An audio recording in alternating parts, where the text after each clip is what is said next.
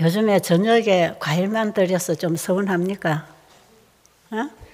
어때요? 아, 전에는 죽도 주고 감자도 주던데 요즘 왜 과일만 주지? 그렇게 서운하게 느끼는 분 안 계십니까? 아, 한우 분들이 저녁에 과일만 잡수시는 게 여러분의 건강 회복에 가장 좋고요. 자기 체중이 과체중인 사람은 과일도 안 먹는 게 훨씬 좋습니다. 근데 이제 이렇게 하다 보니까 몸이 아주 야인 분들이 있어요. 뭔가 좀 들어가서 좀 비축을 해야 에너지를 받을 수 있는 이런 분들, 또 아침, 점심을 먹어도 정량으로 못 먹고 소식밖에 해결을 못하는 예, 체력이나 아, 소화력이 이런 분들이 아침 점심을 정량으로 못 먹는데 저녁까지 이렇게 좀 허접하게 먹으려고 하니까 너무 허한 것이에요.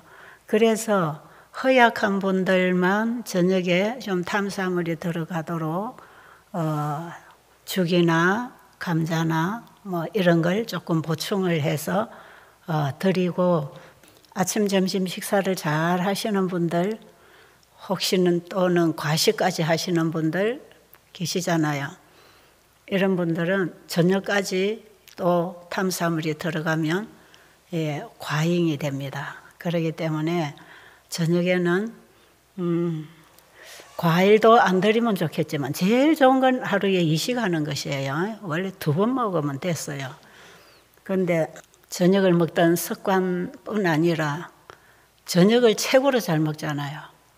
가족이 다 모이고 혹은 직장인들이 마치고 회식하고 하는 이런 핑계로 저녁 식사를 그냥 식당에 가서 먹든지 집에서 하든지 제일 거하게 차려가지고 그것도 다 들어오면은 늦저녁을 그렇게 먹고 배부르게 자면 몸이 뚱뚱 붓고 아침에 일어나 몸이 피곤하고 몸에 입에 독소가 나오고 머리도 멍하고 이런 현상이 365일 계속 되는 것입니다. 그래서 이것이 만성 피로와 우리 몸에 독소를 쌓으면서 이제 만성 병들을 만들어내는 피가 탁해지고 고지혈이 생기고 몸속에는 노폐물이 꽉 차서 이게 1년, 10년 이대로 가다 보면 나중에 여기저기 병들이 다 생기는 것이에요.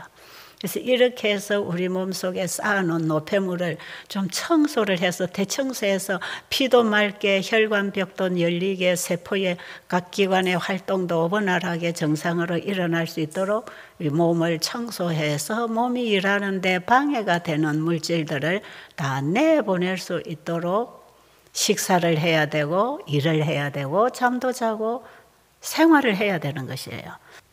그러려면 아침 점심을 과식을 안 하고 적당하게 먹고 물 마시고 적당하게 하루 일을 하고 나면 저녁을 안 먹고 잠을 자면 밤에 자는 동안 이걸 다 풀어내 버려. 아, 그럼 내일 아침에 일어나면 또 몸이 가뿐하고 머리가 맑고 상쾌하고 아주 기분 좋게 일어날 수가 있어요. 그런데 이제 저녁을 실컷 먹고 배부르게 자다 보니까 그냥 예, 음식을 과하게 먹은 식곤증에 의해서 잠이 들어버려요. 여러분 잡아 놓을 때 술 한 잔 마시라 그러지요. 그 머리를 흐리게 해주는 거예요. 그러니까 그냥 잠을 자는 거죠. 생각 없이. 술 먹고 잠자는 게 건강에 좋겠습니까? 그런 식으로 습관을 길들이고 있단 말이죠. 잠 안 오는 분들이. 그런데 여러분들이 저녁을 실컷 먹고 나면 우리 머리는 꼭 술을 먹은 피를 지금 받아가고 있기 때문에 이 피 속에는 술 먹은 피를 받아서 어, 순환을 시킵니다. 그러기 때문에 머리가 아주 흐려지고 몸 전체가 피곤해지고 식곤증을 느낄 때 그냥 지쳐서 잠을 자는 이런 잠을 사람들이 많이 자고 있어요. 이런 잠은 자고 일어나도 피로가 그렇게 풀리지 않습니다. 자고 일어나도 위가 더부룩하고 몸이 무겁고 얼굴이나 이 손이나 만져보면 뚱뚱 좀 부어 있고 이런 부석부석한 이런 느낌으로 이제 사람들이 일을 하고 살아가는데 이것을 그냥 살이 쪄서 건강하다 이렇게 생각하잖아요. 주로. 이 전부 몸에 독소가 쌓여서 그렇습니다. 그 문제를 해결해서 몸 상태를 예, 정상적으로 항상 몸이 몸을 위하여 이 항상성을 유지시켜 줄 수 있는 조건으로 몸 관리를 지금 해주는 것이에요. 그래서 여러분이 최대한 여기 오셔서 건강식을 하시되 소식으로 배고프지 않을 만큼만 먹고 중간에는 물을 많이 마시고 운동을 해서 체력을 올리고 근육을 올려야 됩니다. 그래서 작게 먹고 먹은 걸 쓰면서 체력이 오르고 근육이 살아나고 살아나고 면역력이 일어나면서 건강해야지. 사람들 자꾸 많이 먹어야 건강하다고 생각하는 이게 문제다 이 말이죠. 옛날에 우리나라의 그 보릿고개 지나는 그런 시절에는 진짜 먹을 게 없어서 영양실조로 병들고 죽는 아이들도 많았어요. 어른도 그렇고. 그런 시절에는 아파트로 누워 있으면 죽이라도 끓여다 주고 뭐든지 해다가 먹여주는 게 병문안 갈 때 인사해요. 이거 좀 먹고 기운 차려라. 이거 좀 먹어봐. 이거 먹고 좀 일어나. 이런 식으로 자꾸 뭔가, 그래서 뭐가 아프면 뭔가를 해주는 거라. 음.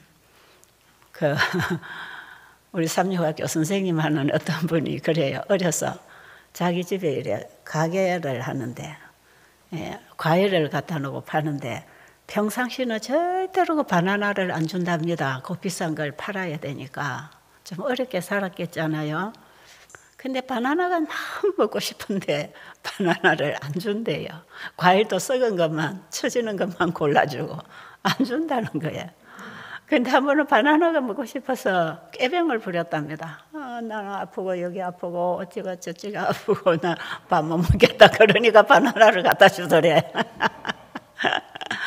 그러니까 이거 이거 먹으면 이제 음, 기분 차리고 일어날 거라 생각하지요. 옛날에 우리 엄마들은 좀 아프다 하면 막 자꾸 죽도 끓여다 주고 주잖아요. 예. 그렇게 이해가 되던 시대가 우리나라 역사 속에 있습니다. 요즘은 정말 먹고 남고 처지고 과식, 폭식으로 인해서 다 병들잖아요. 그래서 근데 요즘 사람들 진짜 많이 먹고 폭식해서 병이 들어서 이 몸에 노폐물이 꽉 쌓여서 우리 몸이 소화기계가 쓰레기통이 되어 있는 거예요. 먹고 흡수하고 나가야 되는데 이거를 할 시간 없이 또 먹고 또 먹고 또 먹고 하루 종일 먹고 저녁에 잘 때 먹고 보세요. 아침을 과식하지요. 그럼 점심시간까지 소화 안 됐는데 점심 먹어도 과식이고요. 간식이고. 그 다음에 아침 먹고 나서 돌아서서 뭐 차 한 잔 마시고 또 뭐 먹을 거 있으면 누가 주면 또 먹고 중간에 뭐 조금씩 조금씩 입에 넣잖아요. 그 전부 위장 안에 음식을 비우지 못하고 계속 채워 있습니다.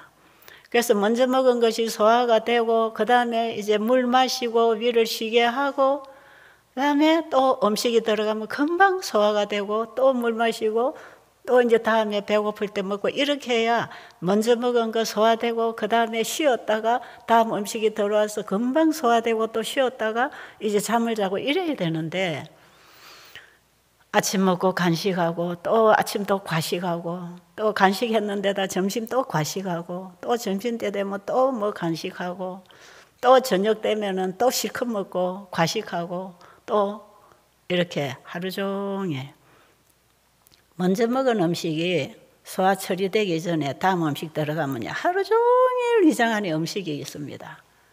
그 먼저 들어간 음식은 썩고 또 새로 들어온 음식 받아서 소화시키는데 또 좀 있으면 또 들어오고 그러니 자꾸 썩어 나가면서 장 속에 계속 쓰레기통이 돼가지고 여기서 썩어요. 그럼 나쁜 세균들이 많이 생깁니다 이게. 그래서 지금 우리가 밥 먹는 거 하나만 배워도 여러분의 미래의 질병을 막아줄 수 있는 예방 차원에서 이게 참 필요한 것이에요. 그러니까 여기서 여러분들이 누가 지켜주고 가르쳐 줄 때 노력하고 고치려고 해야지 집에 가서는 옛 습관대로 돌아가기 때문에 그게 잘 안 되게 돼 있어.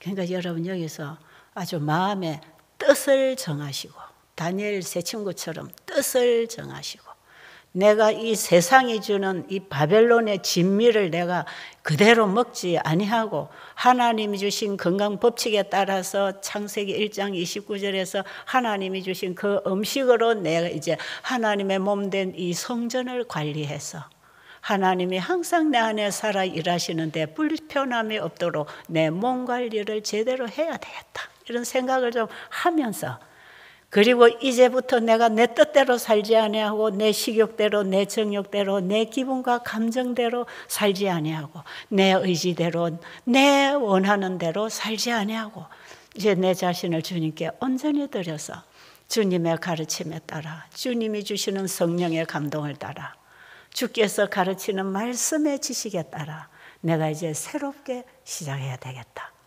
이 뜻을 정하실 때 하나님은 그 길로 인도하십니다. 다니엘이 바벨론에 가서 바벨론의 그 왕들이 먹는 그 진미를 먹지 않고 하나님의 뜻대로 먹고 하나님과 믿음 관계를 깨지 아니하고 그 어려운 상황에서 이 끌려간 포로들이 말이에요. 그 나라 왕이 베풀어 주는 진미도 거절하고 그들의 신앙도 거절하고 자기들이 믿는 창조의 하나님을 믿고 주님 말씀대로 살기로 뜻을 정할 때 하나님은 그 기도에 응답하셨다 그랬어요. 아무리 다니엘 세 친구가 바벨론에 가서 내 하나님 뜻대로 살아야지 결심하고 갔지만 그 모든 생활 습관, 신앙 생활에 아, 하나님의 말씀과 맞지 않은 것들을 받아들이고 있는 동안에는 승리할 수가 없어요. 그래서 우리가 그것을 끊고 하나님 말씀대로 살기로 결심하는 마음을 정하고 하나님께 도움을 구할 때 하나님은 적극적으로 응답하신다는 거예요. 이게 우리가 지금 나가면서 이제 살아갈 수 있는, 승리할 수 있는, 음, 바로 그 모본을 다니엘이 보여준 거예요. 그렇게 채식을 먹게 해달라 했더니 환관장이 와서 뭐라고 했지요? 만약에 당신들이 이렇게 해서 채소만 먹여가지고 몸이 허약한 게 왕 앞에 보여지면 내 목이 날아간다. 왜 내가 당신들을 관리할 수 있는 책임을 받았는데 이 좋은 음식을 거절하고 당신들이 그런 음식을 먹어서 몸이 초췌해지고 야이고 기운이 빠지고 이렇게 되면 내 목이 날아가니까 제발 안 된다고 그렇게 하지 말아 달라고 그랬을 때에 다니엘은 우리를 그러면 열흘만 채식과 물을 먹게 해서 시험해봐라. 그리고 저 왕의 진미를 먹는 친구들보다 더 야해지는지 좋아지는지 한번 시험 기간을 열흘만 달라 그랬어. 그래서 줬잖아요. 결과가 어떻게 됐죠? 다니엘서 1장에 보면 그들의 얼굴이 친구들의 얼굴보다 더욱 윤택하고 건강미가 흘렀고 지혜가 있고 다니엘은 하나님의 영감을 받아서 벌써요 꿈도 해석할 수 있는 그런 은혜를 입었던 것이에요. 우리가 우리의 몸을 하나님의 뜻대로 관리해 나갈 때 우리의 정신과 영적인 기능도 살아난다는 것입니다. 그걸 하셔야 돼요. 그래서 이 시대에 하나님이 주신 현대 기별을 깊이 연구하기를 원하는 사람들은 때때로 금식하면서 기도하면서 그 말씀을 연구하였더라 그랬어요. 어느 시대든지 그렇습니다. 그 시대에 하나님의 기별을 받고 그 기별을 받아먹고 이해하고 전할 사명을 가진 사람들은 때때로 금식, 자 포기, 내 생각 포기, 내 식욕 정욕 포기, 나를 주님께 온전히 드리는 참된 금식을 하면서 철저한 절제 생활을 했다는 것이에요. 다니엘이 그 모본입니다. 지금 이 시대에 여기 대부분 우리 재림 성도들 아닙니까? 정말 하나님이 주시는 세미한 빛에 순종할 때 훨씬 더 밝은 영적인 빛이 온다는 걸 이해하시기 바랍니다. 그래서 우리는 이 마지막 시대에 하나님이 귀하게 사용하실 수 있는 도구로서 하나님께 나를 온전히 드리게 되는 하나님의 자녀가 되기를 간절히 바랍니다. 여러분, 병을 자꾸 바라보지 마라 그랬죠. 우리는 바라봄으로 변하기 때문에 식물이 태양을 바라보면서 자라는 것처럼 우리는 예수님을 바라보면서 그분의 사랑을 먹으면서 내 영혼이 변화되고 자라야 되는 것 아니겠어요? 예수님을 쳐다보고 사시게 되기를 바랍니다. 그리고 집에 돌아가시면 옛날에 이제 친구들 만나고 가족들 만나고 또 이제 추석이 돌아오니까 가족들 모여서 찌지고 굽고 맛있는 거 해서 먹어라 마셔라 하고 이제 또 만나고 놀 것 아니겠어요? 되도록이 뭐 그런 자리를 좀 피하는 게 좋고요. 특히 아픈 분들은 아프다는 핑계로 그런 자리를 좀 피하셔요. 왜냐하면 보면 유혹받으니까. 그래서 이럴 때에 가족이 같이 와서 이 환자를 보호를 해야 되는데 환자 혼자만 와서 하고 집에 가면 친척들이나 가족들이 옛날 생활 그대로 하면서 먹고 마시고 노는데 나는 정말 소외감 느끼고 내 자신감이 너무나 초라해지는 자리에 여러분들이 앉지 마시고요. 혹시 친구들 만나서 외식하는 자리에 앉아도 아, 나는 이제 내 건강을 위해서 먹기로 했다. 내가 그동안에 이렇게 먹고 살았더니 내가 이 몸 전체가 지금 문제가 오고 있어. 그러니까 앞으로 내가 이제 이 내 몸을 한번 이렇게 한번 청소를 다 하고 이제 몸이 다시 정상으로 돌아오도록 이 전부 대청소하고 왔는데 이 더러운 것들이 내가 집에 넣을 수가 없어. 이제 나는 피를 깨끗하게 보존해서 내 몸을 건강하게 이제 나는 보존을 해야 돼. 내 몸은 내 몸이 아니니까요. 하나님의 성전이니까요. 그런 믿음으로 내 몸 관리를 해야 됩니다. 그래서 우리가 먹든지 마시든지 무엇을 하든지 다 하나님의 영광을 위해서 하라고 할 때에 식탁에서부터 우리는 순종을 해야 되는 것이에요. 하나님의 말씀으로 살아갈 때 하나님의 영광이 드러날 거 아닙니까? 그분이 주신 음식을 먹을 때 우리 혈색도 좋아지고 바벨론의 다른 친구들이 음식 먹은 것보다 이 새 친구들이 열흘 동안 시험해 보니까 얼굴이 더 깨끗해지고 피가 맑아지고 윤택해지는 이런 외관상도 아름답다 이 말이에요. 외관상도 아름다워요. 그리고 그 영이 맑아지고 머리가 지혜롭고 이 머리가 깨어나기 때문에요. 사람이 지혜롭고 지식이 있고 다른 사람들에게 뭔가를 깨우쳐 줄 수 있는 그래서 꼬리가 되지 않고 머리가 될 수 있는 하나님의 자녀로 하나님께 영광을 돌리는 백성이 되는 것입니다. 좀 그런 사람이 되고 싶지 않으세요? 제가 만약에 이 땅에 태어나서 예수님을 몰랐더라면 어떻게 됐을까? 저는 그런 생각을 한 번씩 해보면 정말 정신이 아찔해요. 저는 제 집안이요. 사돈 팔촌도 믿는 사람이 없었어요. 다 불교로 연결되어 있는. 그 불교도 제대로 불교도 아니라 제대로 불교의 가르침을 받아도 좀 깨어날 거 아니겠어요. 근데 다 미신. 옛날에 우리나라 민족들이 그냥 가만히 있으면 절에 가는 거. 그게 신앙이 돼 있던. 그런 시대, 그런 부모님들, 그런 친척들, 그런 환경에서 제가 자라면서 기적적으로 저 혼자 거기서 빠져나온 사람이에요. 일곱 살 때부터. 친구 따라서 재미로 교회 갔던 것이 오늘날 이 자리에까지 하나님이 인도해 주실 줄 누가 알았겠습니까?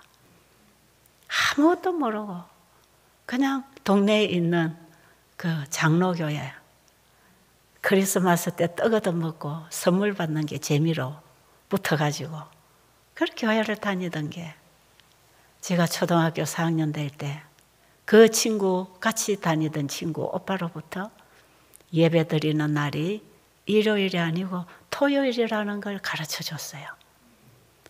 그걸 이 꼬맹이들이 듣고 아 그러면 우리 토요일 날 교회 가야 되겠네. 그래서 그 오빠를 따라서 토요일 날 교회 간 게 오늘 내가 몸담고 있는 이 교회였어요. 그러니까 지금 가만 생각해 보면 몰라서 못했지만 아는 건 하려고 했던 것 이게 행위신앙이었다 더라도 좋아요. 예수님 사랑 아직 몰랐어요.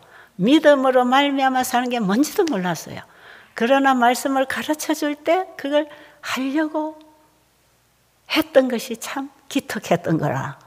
그래서 초등학교 4학년이 책가방을 들고 토요일 날은 학교를 안 가고 교회로 가거든요. 그 우리 집에서는 안 믿으니까 교회 간 줄 알면 큰일 나지요. 옛날에는 뭐 잘못하면 딱 매맞아야 돼요. 그런데 토요일이 되면 저 맨날 학교 다녀옵니다 하고 가는데 토요일 되면 아무 소리 안 하고 다녀오겠습니다 하고 따라 나는 거예요, 그냥. 그러고는 교회 가서 해지기 전에 집에 오면 또 엄마가 청소해라, 뭐 해라, 뭐 이런 거 자꾸 시키니까 안식일에 일하면 안 된다 해서 아무것도 안 하려고. 예.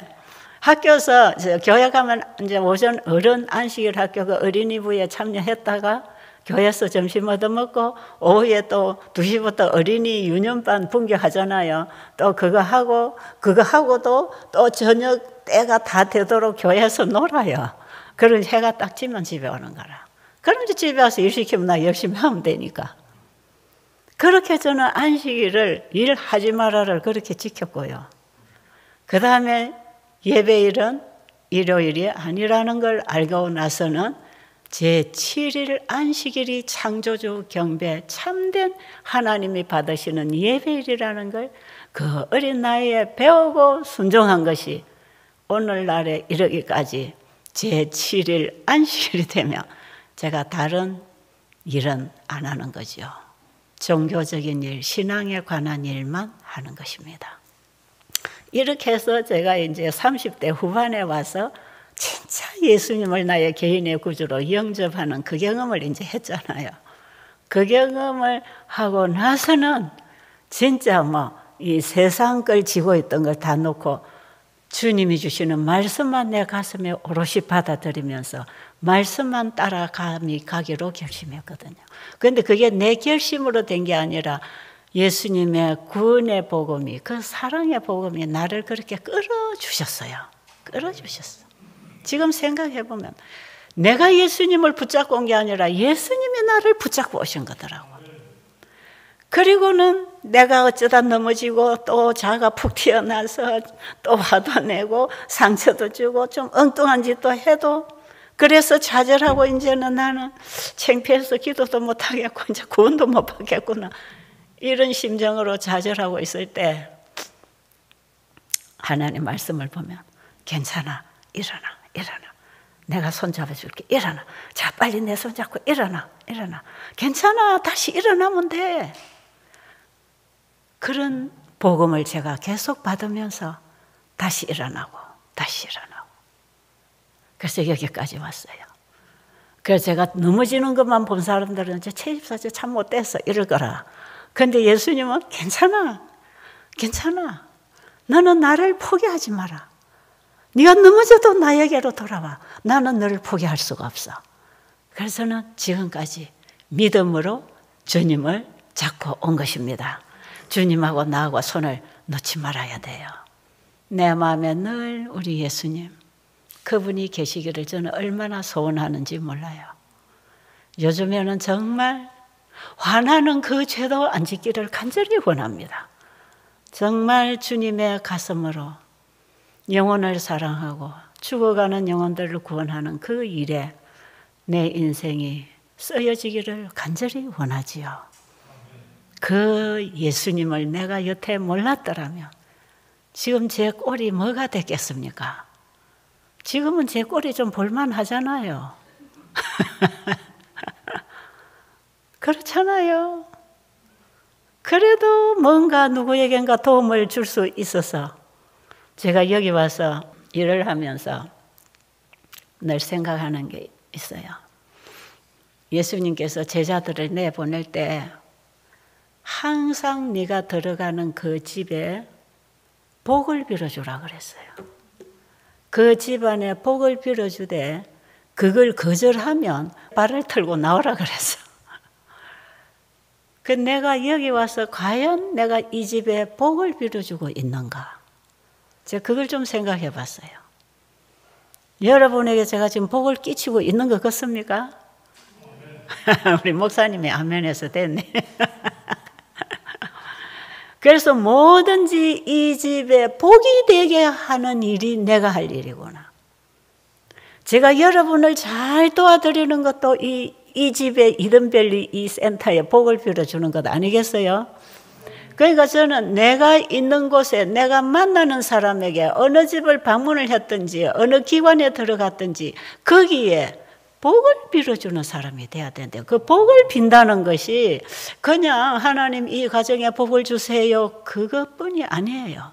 그 집에 도움이 되도록 정말 그 집에 내가 복이 되는 복을 가져올 수 있는 그런 사람이 되고 있는가? 그걸 제가 강한히 생각을 하죠.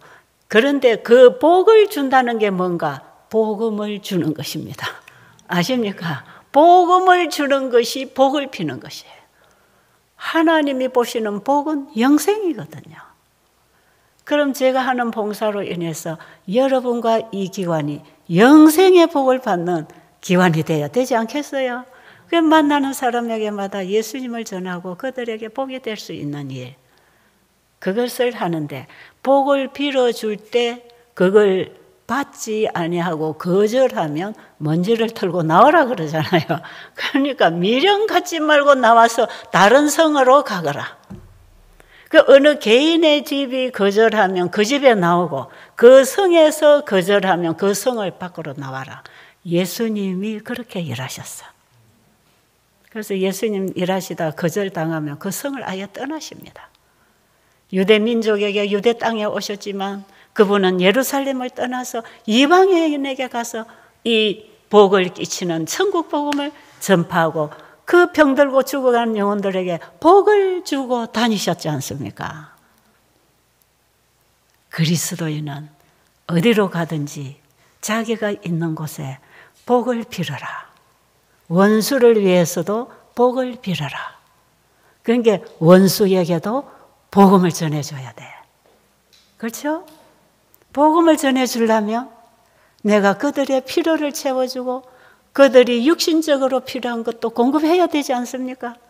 배고플 때 밥을 한 그릇 주는 것도 복을 빌어주면서 복음을 주는 것이라. 어제 우리 여자 셋이 미용실에 갔다 와서 좀 머리가 이뻐졌나요? 우리 오복자 집사님하고 우리 사모님하고 미용실에 어제 갔어요. 갔다 왔는데 우리 사모님이 거기다가 빵도 구워다 주고 또 책도 갖다 줘요. 아, 이 사모님이 이 지역에 자기가 다니는 미용실에 올 때마다 복을 끼치는 분이구나. 그분들은 장로교인이랍니다. 그러니까 어쨌든 더 밝은 빛으로 그들을 도와주고 싶으니까. 그죠? 복을 끼치는 거예요. 복을 빌어주는 게 그런 것이에요. 그들에게 진짜 필요한 것을 갖다 주는 게 그 가정에 복을 주고 이 가정을 구원해 달라고 기도하는 기도가 그렇게 응답이 되는 것이에요. 그렇죠? 맨날 입으로만 기도하지 말고 생활로 그리스도의 정신으로 그리스도께서 행하신 사업을 하면서 그리 하나님의 은혜를 붙잡고 그분의 약속을 믿고 주님의 정신으로 일을 하는 것이 주의 이름으로 기도하는 한다는 뜻이다. 주의 이름으로 기도한다는 그런 거예요. 정로의 계단 100페이지에 보면 기도가 뭔지 기도는 입으로만 거기 복 빌어주세요. 거기 도와주. 그 집이 지금 경제적으로 어려운데 그 좀 도와주세요.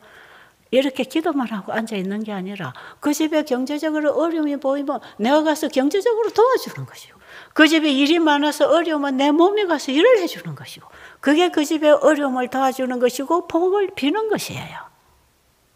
우리 그렇게 남에게 복을 끼치는 사람이 되면 좋지 않겠습니까? 그렇겠지요. 그렇게 되려면 내 안에 예수님이 계셔야 돼. 예수님을 만나야 돼. 예수님의 말씀이 내 안에 와서 역, 사랑으로 역사해서 예수님이 보시는 것처럼 이 세상을 봐야 예수님이 이 세상을 구원하러 오신 그 사역을 우리도 예수님 안에서 하는 것이에요.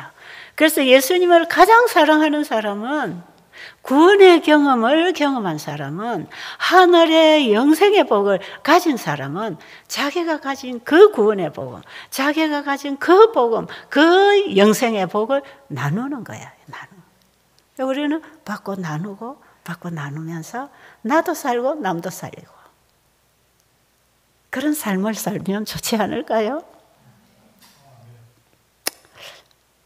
저는요, 제가 배대를 이렇게 하면서 굉장히 제가 행복했던 것이 봉사하는 일이 참 행복했어요. 보세요.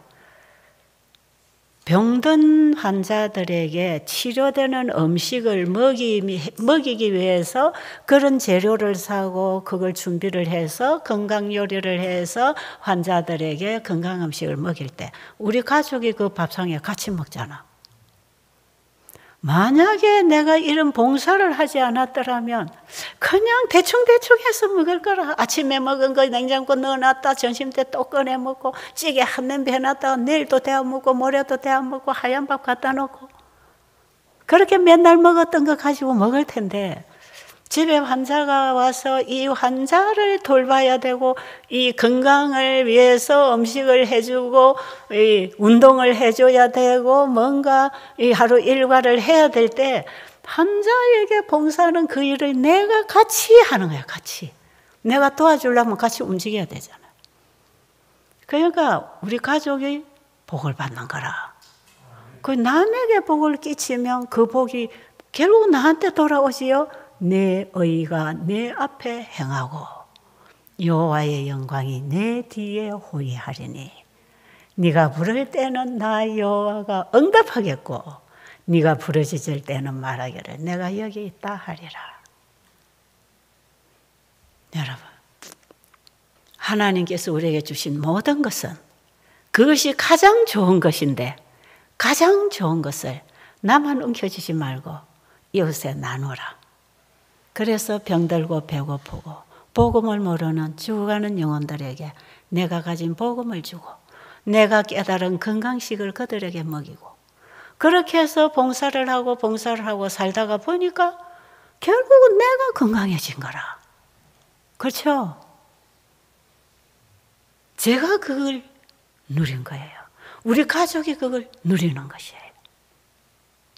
그리고 다른 사람의 유익을 위해서 관심을 가지고 도와주려고 할 때 이기적인 자아를 잃어버립니다. 자아를 잃어버려. 그래서 다른 사람 중심으로 밥을 짓고 시장을 보고 집을 짓고 말씀을 공부를 하고 이걸 나누어 주고 싶어서 계속 일을 할 때 나를 생각하는 거에서 돌아섭니다. 그게 우리가 이타적인 사람으로 변화하는 과정이에요. 내가 우리 사모님 맨날 하는 얘기 있어. 진짜 이 사모님 여기서 일 제일 많이 해요. 야, 저 일을 저리 많이 하고 힘들지 않을까? 힘드시죠? 그럼. 아니요, 하나도 힘 안 들어요. 너무 행복해요. 여기 오시는 분들에게 이렇게 봉사를 할 수 있다는 게 얼마나 행복한지 몰라요. 하나님이 늘 새 힘을 주십니다. 그런데 그 얘기는요, 저는 그게 뭔지 알아더라. 그거 안 해보면 잘 몰라요. 그렇지. 사람들이 볼 땐 저 사람 하루 종일 너무 쫓아다니고 힘든다 싶지요. 나는 그게 힘들지 않고 너무 행복해요. 그리고 이렇게 했을 때 다른 사람들이 도움을 받고 깨어나고 복음을 받고 건강이 회복되는 이 반짝반짝 살아나는 거 보면 그 자체가 나의 인생의 보람입니다. 그게 보람이에요. 여러분 이 땅에 태어나서 자기만 위해서 집 짓고 땅 갈고 먹고 쌓아놓고 많이 가지고 있으니까 목에까지 교만이 꽉 차가지고 그냥 어하고 앉아 살면 그게 행복이 아니고 내가 가진 것을 자꾸 나누어 줬을 때 그 사람들이 내가 주는 걸로 인해서 건강적이든 경제적이든 영생이든 간에 그들에게 도움이 되는 것을 내가 했을 때 그게 얼마나 행복한지 몰라. 우울증 환자들은요, 이 일을 하면 우울증 금방 치료됩니다. 우울증 환자들은 자기 사랑에 꽉 둘러싸여 있어요. 뭐든지 나에게 이렇게 해줘야 돼. 네 나를 이렇게 상처 줬지. 네 나를 사랑 안 하지. 나에게 이렇게 했지. 나를 힘들게 했지. 나, 나, 나, 나. 거기에서부터 병이 듭니다. 병. 이 우울증, 정신질환은 여기서 다 와요. 그런데 이런 사람들이 나로부터 대상이 내가 아니고 너에게로 돌아갈 때부터 우울증 치료는 일어나기 시작해요. 여러분 저뭐네 마음에 안 들고 나는 이래 하는데 너는 잘못하고 있어 네가 어쩌고 저쩌고 네가 나한테 스트레스를 줘서 병이 걸렸고 못마땅하고 이런 걸로 내 생각을 기준으로 다른 사람을 판단하고 비판하고 이것이 결국 자기 사랑이야. 자기 중심, 이기심 그 속에서 역사하는 능력은 죄입니다. 죄. 그러셔야 돼. 여러분 정신 똑바로 차리고 일어나세요. 아시겠어요? 똑바로 정신 차리고 일어납시다. 그러면 내 중심이 아니라 예수님 중심으로 살 때 다른 사람 중심으로 살아가는 그게 복을 끼치고 사는 것 아닙니까? 그게 이웃에게 복을 비는 삶이에요. 이렇게 살아갈 때 진짜 영생의 복을 내가 끌어안고 있는 것이거든. 그렇잖아요. 그러면 이렇게 하루하루 살아가면 하늘 문턱까지 가는 거라, 에녹처럼. 한 발짝만 옮기면 하늘이니까 에녹은 살아서 하늘에 올라갔잖아요. 에녹이 그렇게 살았다니까. 제가 이 의료 선교 시작할 때 에녹의 생애에서 많은 빛을 받았어요. 물론 예수님이 배고프고 병들고 옥에 갇힌 자를 돌아보라고 하는 그 말씀을 가슴에 안고 그 일을 시작을 하는 가운데 제가 말씀을 계속 이 나를 주님께 드리고 주님이 하라는 그 일에 종사하면서 말씀을 보면 그 말씀이 전부 내 거예요, 내 거. 어. 그래서 그 말씀이 내 경험하고 만나져서 막 깨달아져요. 그러니까 내가 하나님께 드려지고 그 일에 나를 바치고 살아가면서 말씀 보면 이 말씀이 다 내 얘기하고 연결된다니까요. 아직 도달을 못해서 그렇지 그 길을 가고 있는 것이에요. 그때에 제가 이 에녹의 생애, 셋과 에녹, 우리 부조화 선지자도 보면 그런 장이 나오잖아요. 이 에녹의 생애를 제가 여기저기서 찾아서 연구를 하면서 앞으로 살아서 예수님을 맞이할 마지막 성도들의 모본으로서 에녹의 생애를 우리에게 보여줬다는 거예요. 그 저는 정말 에녹처럼 살고 싶었어. 그러니까 어디로 갑니까? 시골로 가지요. 그 다음에 도시에 병든 사람 내 집에 데려와서 나의 하나님을 가르치는 겁니다. 그게 나의 복음이고 내 삶이 되는 것이거든요. 복음이 나의 복음이 되면 그 복음이 내 삶이 됩니다. 그럼 삶을 통해서 하나님을 증거하는 것이죠. 이렇게 복음을 전했다는 겁니다. 에녹이. 그리고 그 시대에 이제 앞으로 노아 홍수가 오잖아요. 세상에 멸망이 오고 있잖아요. 그 시대의 백성들이 구원을 받을 수 있도록 그 시대의 현대 기별을 세상에 나가서 전파했다는 것입니다. 그 세상에 나가서 복음을 전하고 그곳에서 만나는 병들과 아픈 영혼들 집에 데려와서 도와주고 집에서 생활 전도를 하고 나가서 현대 기별을 외치고 이게 에녹의 전 생애였어요. 이렇게 하다가 하다 보니까 늘 주님만 바라보고 해바라기 해 따라가듯이 주님만 따라가다 가다 보니까 하늘 문턱 한 발짝 앞에까지 왔다라는 거 아닙니까? 그 영혼이 가장 하나님과 밀접하게 살았다 이 말이에요. 그래서 산채로 하늘로 데리고 가셨다는 것입니다. 그럼 나도 그렇게 살고 싶다 이 말이지요. 어? 하고 싶으면 하나님이 힘 주십니다. 하고 싶은 마음도 그분이 주신 마음이거든. 그걸 이기심이 막아버리지 말고 그 하나님이 하고 싶은 마음이 생기도록 빛을 주시고 깨우쳐 주셨으면 그 말씀에 순종해 보라 이 말이야. 그러면 한 발짝, 한 발짝, 두 걸음, 세 걸음 하늘을 향해 가는 삶이 되는 것이에요. 그렇게 될 수 있을까요? 그래서 우리는 이 시대에 죽어가고 배고픈 영혼들을 돌봐주고 그들에게 건강을 회복하고 영혼이 살아날 수 있는 복음을 전해줄 뿐 아니라 이 세상을 향해서는 세천사의 기별인 현대 기별을 전파하고 사는 것이에요. 가만히 따라 따라 해보니까 진짜 우리가 그렇게 살게 돼 있는 거더라고. 하나님 말씀은 전부 그 나의 미래를 다 적어 놓은 것이에요.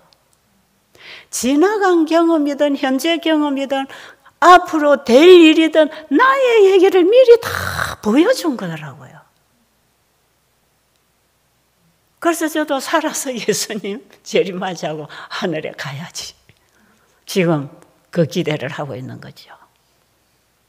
혹시 내 시대에 주님이 못 오셔도 예수님 재림 때 부활해서 살아있는 새 사람으로 예수님 맞이할 거 아닙니까?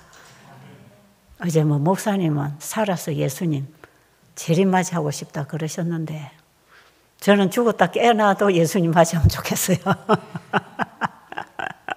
그거라도 얼마나 좋습니까? 한숨 자고 일어나니까 예수님 맞이하는 그날이 아침이라. 여러분, 그렇게 사시기 바랍니다. 여러분이 살다가, 오늘 살다, 1년 살다가, 만약에 영원한 죽음의 잠을 자도 우리는 예수님 영접하고 예수님과 함께 살다가 죽으면 그건 죽는 게 아니고 잠자는 거거든. 땅에 씨앗이 생명을 갖고 들어가서 씨앗의 알갱이는 썩어도 그 씨앗에 있는 생명이 나무를 가지고 다시 나오는 것처럼 우리 가슴 속에 예수님 영접하고 살다가 병들어 죽으면 육신은 썩어서 땅으로 들어가지만 그 생명으로 말미암아 하나님이 부활시켜 줍니다.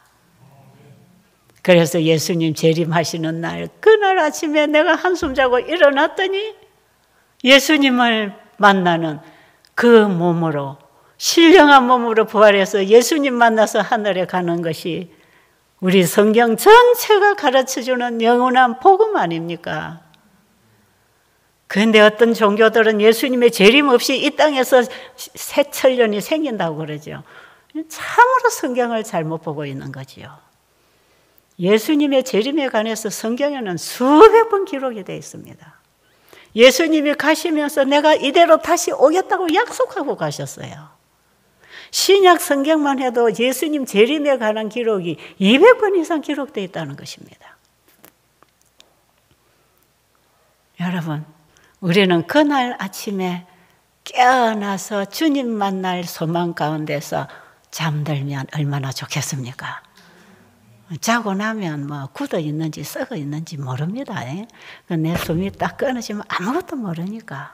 뭐 죽었다 깨어나도 되고 살아서 이대로 변화돼서 예수님 맞이해도 되니까 중요한 것은 내 마음에 예수님이 오셔서 그분이 내 마음을 붙들고 나를 지금 인도하고 계시는가 그 경험 속에 살아야 된다. 됐습니까? 오늘 여기까지 하고요. 여러분 이 말씀을 그냥 돌아서서 나가면서 다 잊어버리고 가지 마시고 가슴에 새겨서 여러분의 인생에 새로운 출발이 있게 되기를 간절히 바랍니다.